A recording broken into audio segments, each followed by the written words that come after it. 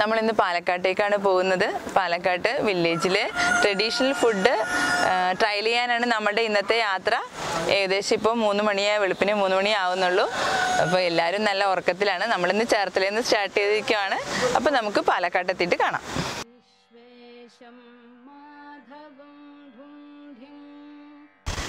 അപ്പം നമ്മൾ വെളുപ്പിനെ സമയത്ത് പാലക്കാട് എത്തിയിട്ടുണ്ട്. പാലക്കാട് ഗ്രാമങ്ങളിലേക്കാണ്. അപ്പം നമുക്ക് ഒരുമിച്ച് പോയാലോ?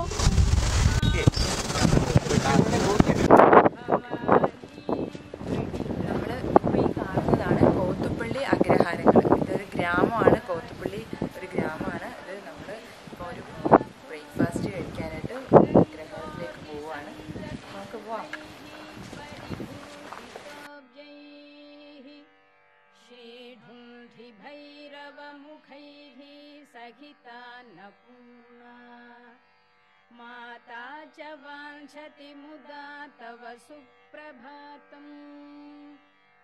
ब्रह्मा मुरारीस्त्रिपुरान्तकारिः भानुष्यशी भूमिसुतो बुधश्च। गुरुश्च शुक्रः शनिराहुकेतवः कुर्वन्तु सर्वे भुवि सुप्रभातम्। वाराणसी स्थितगजानन ढुण्ढिराज तापत्रयापहरणे प्रथितप्रभाव आनन्दकन्दलकुलप्रसवैकभूमे। नित्यं समस्तजगतः कुरु सुप्रभातम् ब्रह्मद्रवोपमितगाङ्गपयः प्रवाहैः पुण्यैः सदैव परिचुम्बितपादपद्मे मध्येऽखिलामरगणैः परिसेव्यमाने श्रीकाशिके कुरु सदा भुवि सुप्रभातम् प्रत्रैरसङ्ख्यमठमन्दिरतीर्थकुण्ड प्रासादघट्टनिवहैर्विदुषाभरैश्च आवर्जयस्यखिलविश्वमनांसि नित्यम् श्रीकाशिके कुरु सदा भुवि सुप्रभातम् നമ്മൾ ഇന്നിപ്പോൾ ഫുഡ് കഴിച്ച കൊടുന്തരപ്പള്ളി അഗ്രഹാരത്തിലെ സുധ ചേച്ചിയാണ് ന- എന്നോടൊപ്പം ഉള്ളത് ചേച്ചിയുടെ കൈപ്പുണ്യാണ് ഇതെല്ലാം. വളരെ ടേസ്റ്റി സാധനങ്ങളായിരുന്നു. ബ്രേക്ക്ഫാസ്റ്റ് കഴിച്ച് അടിപൊളി. ചേച്ചി ഉണ്ടാക്കിയ സാധനങ്ങളാണ് ഇതെല്ലാം. ഇതൊരു കൊട്ട ഇഡ്ഡലി എന്ന് പറയും. കൊട്ടയിലാണ് ഉണ്ടാക്കുന്നത്. പ്രിപ്പറേഷൻ കുറച്ച് വ്യത്യാസമുണ്ട്. സാധാരണ ഇഡ്ഡലി ഉണ്ടാക്കണ പോലെയല്ല. അപ്പോൾ അത് ചേച്ചി നമുക്ക് വിശദീകരിച്ച് തരുന്നുണ്ട്. അതിന് നമ്മൾ ഇതിന് പുരട കൊത്തമല്ലിയും പച്ചമുളകും കൂടി അരച്ചിട്ട് നല്ലെണ്ണയിൽ വറുത്തെടുക്കുന്നതാണ്. അതാണ് ഇത്. ഇതിന്റെ കോമ്പിനേഷനായിട്ട് യൂസ് ചെയ്യണ ചട്നിയാണ്. അപ്പൊ ഇത് രസകാളൻ കൂടി ഇവിടുത്തെ ഒരു പ്രത്യേക പ്രത്യേക സാധനം. രസകാളന്റെ കൂട്ടെന്ന് പറയോ? ഓ, രസകാളൻ ഇളവൻ മത്തൻ ചേന അവരക്ക ഇടിച്ചക്ക ഇതൊക്കെ ചേർത്തിട്ട് അതിനകത്ത് വേറൊരു പയർ പോലത്തെ സാധനം ഉണ്ടല്ലോ അതെന്താ അതാണ് അവരക്ക അവരക്ക അവരക്ക അമരക്ക അമരക്ക തന്നെയല്ലേ സാധനം? ഓക്കെ കുറച്ചും കൂടി വലുതാണ് അല്ലേ അമരക്ക എടുത്തത്. അപ്പൊ അമരക്ക ചേന മത്തൻ ഇളവൻ ഒക്കെയാണ് അല്ലേ പിന്നെ ഇടിച്ചക്ക. ഇതെല്ലാം കൂടി നമ്മൾ മഞ്ഞപ്പൊടി ഇട്ട് ഉപ്പ് ഇട്ട് വേവിച്ചിട്ട് കുരുമുളക് പൊടിച്ച് അതിലിട്ടിട്ട് നമ്മൾ കുറുക്കുകാലിന് തയ്യാറാക്കുന്ന ആ രീതി തന്നെയാണ് തൈര് ഒഴിച്ച് കടഞ്ഞ തൈര് ഒഴിച്ചിട്ട് നന്നായി തിളപ്പിച്ച് വെറ്റിക്കുക. നാളികേരം പച്ചമുളക് ജീരകം കൂടി അരച്ചിട്ട് അതിലൊഴിക്കുക. വെന്തയം ലേശം വെന്തയം ചോക്കന വറുത്തിട്ട് പൊടിച്ചതിൽ കടുകും കപ്പിൾമുളകും കൂടി താളിച്ച് കൊട്ടുക. അപ്പോൾ വളരെ ടേസ്റ്റി ആയിട്ടുള്ള ഫുഡാണ്. അഗ്രഹാരത്തിൽ നിന്ന് ഫുഡ് കഴിക്കാൻ പറ്റിയ ഒരു ഭാഗ്യമാണ്. അപ്പോൾ നമ്മുടെ ചേച്ചിയുടെ ഫുഡ് അടിപൊളിയായിരുന്നു. ഇതുപോലെ കൊട്ടയിലേക്ക് ആവശ്യമായിട്ടുള്ള കുട്ടകൾ homemade sambar powder chutney powder പപ്പടങ്ങൾ നുറുക്കുകൾ കൊണ്ടാട്ടങ്ങൾ അങ്ങനെയുള്ള സാധനങ്ങളൊക്കെ ചേച്ചിയുടെ കയ്യിൽ വിൽപ്പനയ്ക്കായിട്ടുണ്ട്. ആർക്കെങ്കിലും ആവശ്യമുള്ളവരുണ്ടെങ്കിൽ തീർച്ചയായിട്ടും കോണ്ടാക്ട് ചെയ്യാനായിട്ട് നമ്പർ ലിങ്കിൽ കാണിക്കുന്നുണ്ട്. നമ്മളിന്ന് ഉണ്ടാക്കാൻ പോണത് കൊട്ട ഇഡ്ഡലിയാണ്.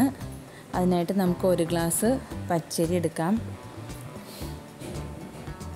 ഏകദേശം അത്രത്തോളം തന്നെയാണ് നമ്മൾ ഉഴുന്നെടുക്കുക. മുക്കാൽ ഗ്ലാസ്സോളം ഉഴുന്ന്. അല്പം ഉഴുന്ന് കൂടുതലായിട്ടാണ് ഇതിനിടുന്നത്. ഉലുവ അല്ല ഒരു നുള്ളു ഉലുവ ഇട്ട് കൊടുക്കാം.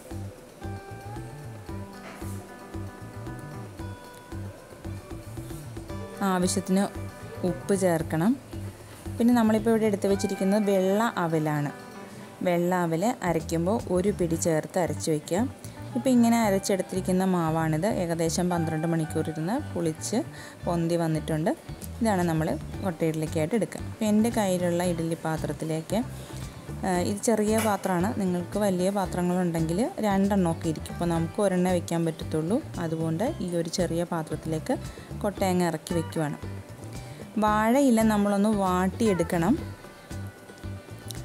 അതിനുശേഷം വാഴയില ഇതിലേക്ക് അങ്ങ് കൊട്ടയിലേക്കൊന്ന് വെച്ച് കൊടുക്കുക. അതിലേക്കാണ് നമ്മൾ മാവ് ഒഴിക്കേണ്ടത്.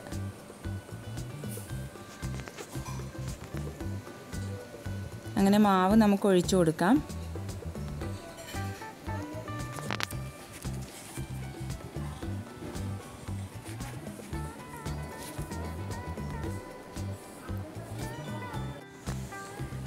അങ്ങനെ നമുക്കിതിലേക്ക് മാവ് ഒഴിച്ചു കൊടുക്കാം. ഒരു രണ്ട് തവി മാവ് ഒഴിക്കുക.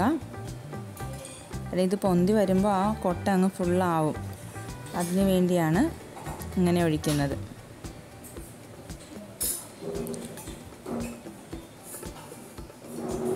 അപ്പോൾ അതാ അത് വെന്ത് വന്നിട്ടുണ്ട്. നമുക്കതൊന്ന് ഒരു കോൽ കൊണ്ടൊന്ന് കുത്തി നോക്കാം.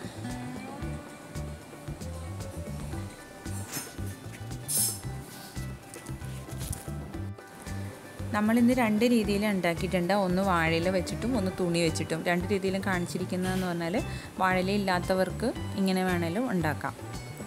അപ്പോൾ ഇതാണ് നമ്മുടെ പാലക്കാട് നമ്മൾ കണ്ട കൊട്ട ഇഡ്ഡലി. നല്ലൊരു വെറൈറ്റി ആയിട്ടുള്ള ഇഡ്ഡലികളിലൊന്നാണ്. അപ്പോൾ അവിടെയൊക്കെ വലിയ ഫങ്ഷനൊക്കെ ഒറ്റ കൊട്ടയാണ് വെക്കുന്നതെന്ന് പറയുക ആൾ കൂടുന്നതനുസരിച്ച് വെക്കുന്ന കൊട്ടയുടെ എണ്ണം കൂട്ടാം.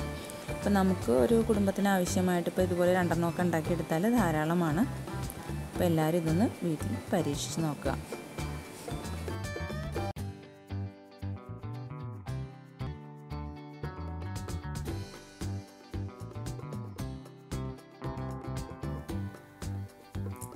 നമ്മളിന്ന് ഉണ്ടാക്കാൻ പോകുന്ന മറ്റൊരു ബ്രേക്ക്ഫാസ്റ്റ് റെസിപ്പിയാണ് ഒരു പാൻ കേക്ക് രീതിയിലുള്ളത്.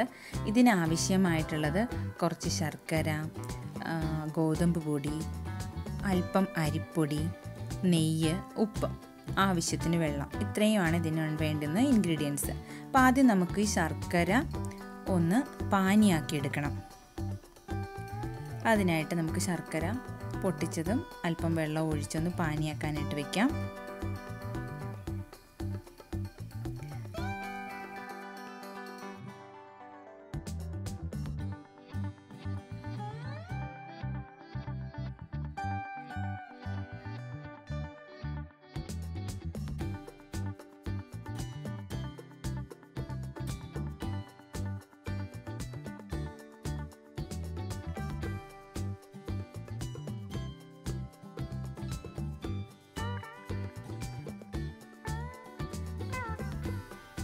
നമ്മളിങ്ങനെ പാനിയാക്കി എടുക്കുമ്പോൾ ഇത് അരിച്ച് മാറ്റി അങ്ങ് തണുക്കാൻ അങ്ങ് വെച്ചേക്കണം.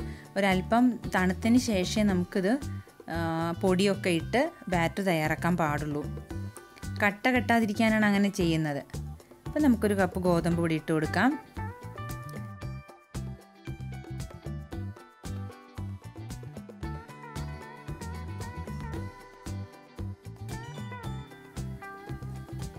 പാകത്തിന് ഉപ്പ് അതിലേക്ക്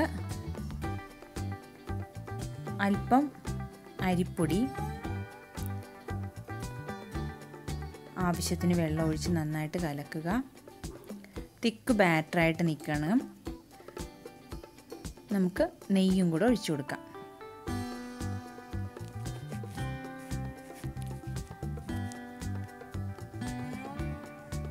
നമുക്കൊരു പാൻ അടുപ്പത്ത് വെച്ച് കൊടുക്കാം. നന്നായിട്ട് ചൂടായി വരുമ്പോഴേക്ക് നമുക്കൊരല്പം നെയ്യൊഴിച്ച് ചുറ്റിക്കാം. എന്നിട്ട് നമുക്കൊരു മൂന്നെണ്ണമായിട്ട് മൂന്ന് കുട്ടി ദോശയൊക്കെ ഒഴിക്കുന്ന പോലെ മൂന്നെണ്ണമായിട്ട് അങ്ങ് ഒഴിച്ച് കനം കുറച്ച് പരത്തിയെടുക്കുക. ഒരു വശം ആ മുരിഞ്ഞ് വരുമ്പോഴേക്കും അങ്ങ് മറിച്ച് കൊടുക്കുക. വളരെ സിമ്പിളായിട്ട് എന്നാൽ വളരെ ടേസ്റ്റി ആയിട്ടും മധുരമൊക്കെ ചേരുന്നതുകൊണ്ട് കുട്ടികൾക്കൊക്കെ വളരെ ഇഷ്ടപ്പെടുന്ന ഒന്നാണിത്. ഇതിന് പ്രത്യേകം കറിയുടെ ആവശ്യമില്ല. നമുക്കിതിന് കൂടെ കഴിക്കാനൊക്കെ ആയിട്ട് എടുക്കുന്നത് ഒരു കോമ്പിനേഷനായിട്ട് എടുക്കുന്നത് തേനാണ്. അപ്പോൾ ഇത് രണ്ട് റെസിപ്പീസ് ബ്രേക്ക്ഫാസ്റ്റ് റെസിപ്പീസാണ് നമ്മളിന്ന് കാണിച്ചിരിക്കുന്നത്. രണ്ടും നിങ്ങൾ വീട്ടിൽ ട്രൈ ചെയ്ത് നോക്കണം. നമ്മളുടെ വീഡിയോകൾ ഇഷ്ടപ്പെടുന്നുണ്ടെങ്കിൽ തീർച്ചയായിട്ടും ലൈക്ക് ചെയ്യണം ഷെയർ ചെയ്യണം കമന്റ് ചെയ്യണം സബ്സ്ക്രൈബ് ചെയ്യണം. അപ്പോൾ നമുക്ക് വീണ്ടും കാണാം.